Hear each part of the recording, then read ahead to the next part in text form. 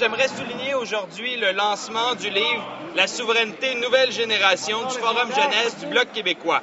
Vingt ans après l'échec du lac Meach, des jeunes de partout au Québec ont souhaité exprimer ce que représentait la souveraineté à leurs yeux.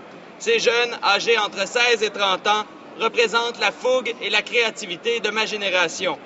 Je suis fier de constater encore une fois la maturité dont fait preuve la nouvelle génération indépendantiste québécoise qui s'exprime avec talent et rigueur pour l'indépendance.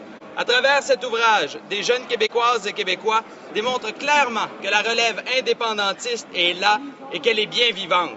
On dit souvent que la culture d'un peuple s'exprime à travers sa jeunesse. La nation québécoise peut être fière de ce groupe de jeunes qui contribuent, avec ces mots, à faire du Québec un pays.